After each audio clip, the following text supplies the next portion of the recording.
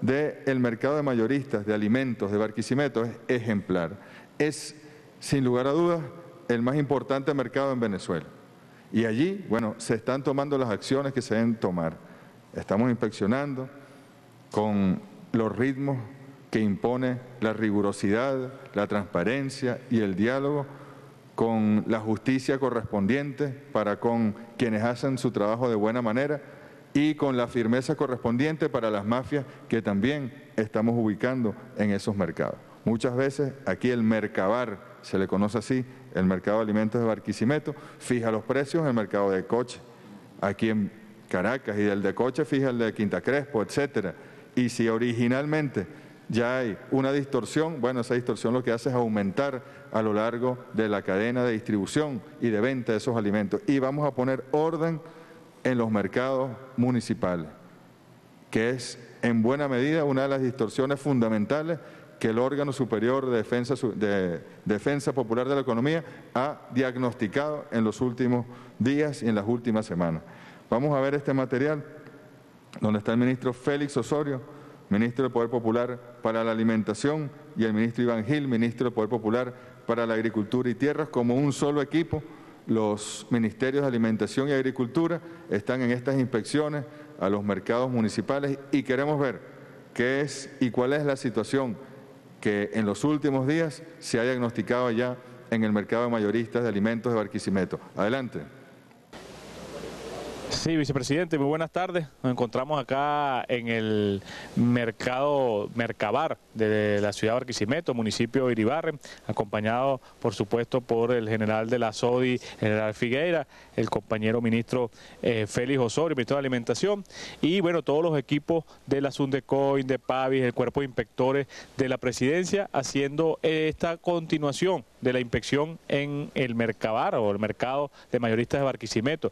Eh, todos sabemos la importancia que tiene este mercado para el abastecimiento no solamente de productos frescos de consumo directo, sino también productos granos secos y diversos productos alimentarios. Desde acá de Mercabar por estar cerca de una zona productora como lo es el Valle de Quibor, una gran zona que produce el 70%, 80% de algunas hortalizas a nivel nacional, bueno, salen para Caracas y para las grandes capitales la mayor cantidad de alimentos frescos. Y luego todo lo que tiene que ver con granos, legumbres, algunas de ellas de origen importado, otras de origen nacional, también se transan en, esta, en, este, en estos espacios. Aquí hemos llegado a intervenir o a inspeccionar eh, una serie de, de actividades y negocios, bueno, porque desde acá se están marcando precios que eh, de manera artificial. Y hemos venido por una denuncia concreta, que es cómo es posible que en esta época del año la cebolla haya llegado a un precio que lo está consumiendo los venezolanos hasta por encima de 100 bolívares el kilogramo. Y bueno, hemos desde la semana pasada eh, activado equipos de la, del INDEPAV, de la SUNDECO, el Ministerio de Agricultura, el Ministerio de Alimentación, coordinados por la SODI, para inspeccionar y ver qué está sucediendo. Aquí hemos encontrado situaciones bastante irregulares en materia de, eh, de distribución de alimentos frescos.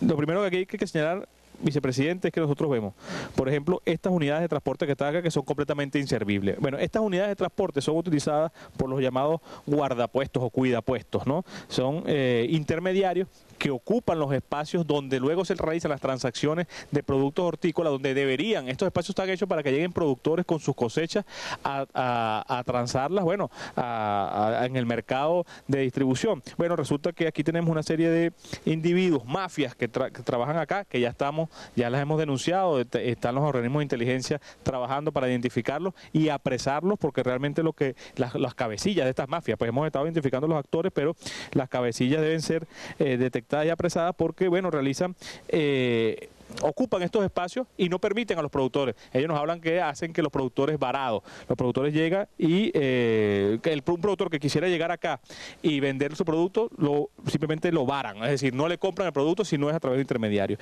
Y veamos para que la población general entienda un poco lo que está sucediendo concretamente en el caso de la cebolla. El costo de producción de cebolla ensacado, cebolla mediana ya ensacada, puesto en campo, en la puerta de finca, está alrededor de los 12 bolívares por kilogramo, precio, bueno, con todo con todos los insumos, distribución, mano de obra, etcétera. En este momento, eh, que es la época de mayor consumo, el productor la está vendiendo en 30 bolívares el kilogramo. Esto ya implica un 150% de rentabilidad, que uno pudiera pensar es exagerada, pero, pero son condiciones de mercado, son condiciones de, de la demanda que hay en nacional, pero ya lleva implícito un 150% de ganancia al productor, quien es el que asume el riesgo.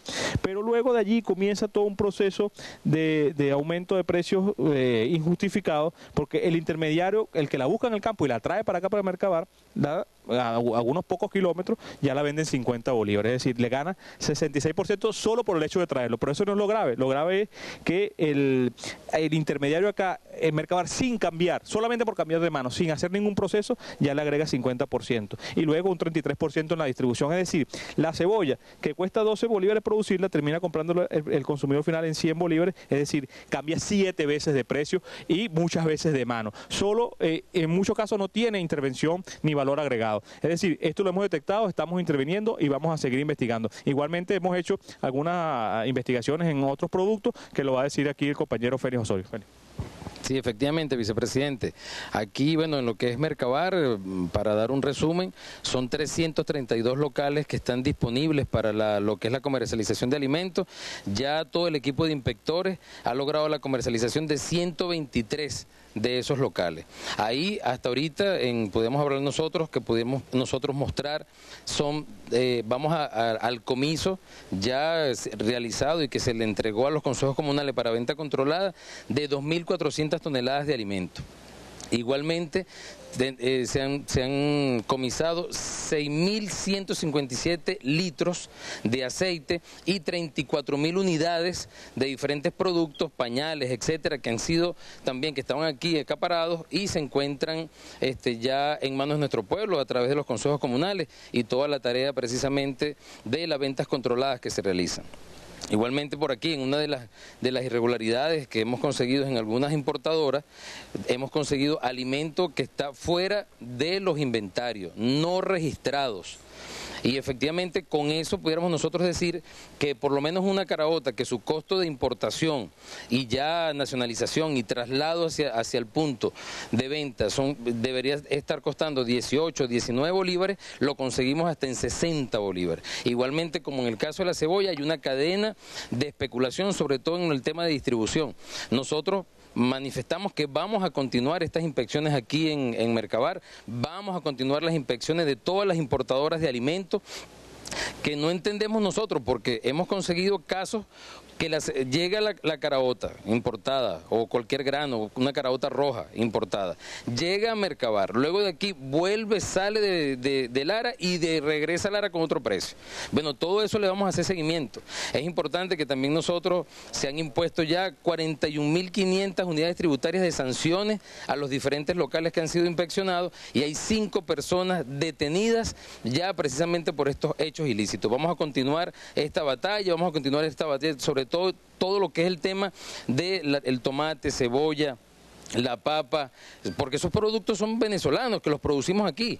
En este momento eh, eh, hay una excelente producción, no hay justificación, no hay justificación de que el precio de la cebolla esté, esté como está en este momento, por los niveles de producción que tenemos. Pero bueno, está la gente acostumbrada a especular a nuestro pueblo, contra eso vamos a seguir, vamos a seguir la batalla. Iván.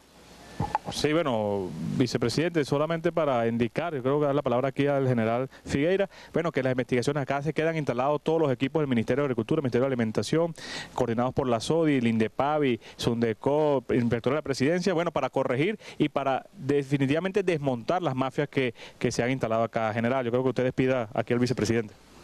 Gracias, ministro Iván. Ministro Osorio. Efectivamente, señor vicepresidente, acá en la Zona Operativa de Defensa Integral del Estado Lara estamos trabajando de manera conjunta, integrada todos los componentes de la Fuerza Armada Nacional Bolivariana, organismos de inteligencia, organismos policiales, con la finalidad de prestar seguridad a estos procedimientos, de tal manera pues que se garantice la seguridad alimentaria, la seguridad en la, en la adquisición de los bienes y servicios de primera necesidad para nuestro pueblo, específicamente acá en este mercado mayorista de Barquisimeto.